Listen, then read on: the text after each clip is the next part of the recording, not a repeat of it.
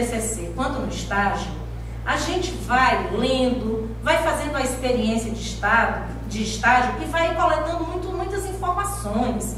Cabeça da gente vai ficando muito cheia de coisa. Tem hora que a gente tem muitos e muitos e muitos caminhos, muitos dados. Mas nem tudo chega no processo final, nem tudo chega no trabalho final.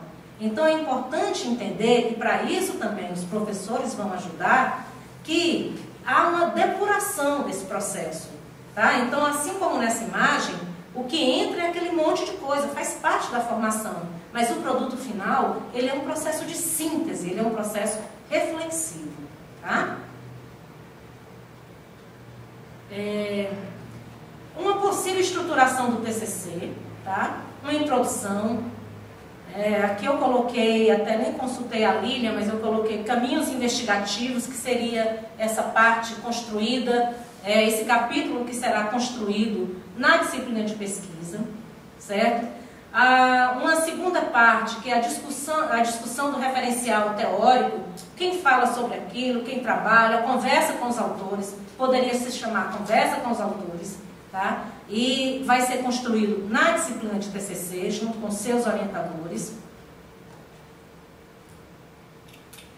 Há um terceiro capítulo, que é o seu trabalho de campo, esse, isso daí vai ser construído na disciplina de estágio.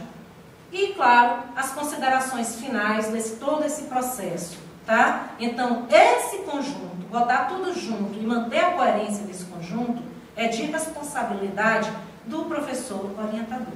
E é bom porque aqui já tem algumas pessoas que é, serão orientadoras, acho que já dá para entender esse conjunto, tá? Então, é, mas é importante que vocês entendam que vocês não vão estar acumulados, é cheio de, porque vocês estão com as disciplinas trabalhando em prol de um mesmo objetivo.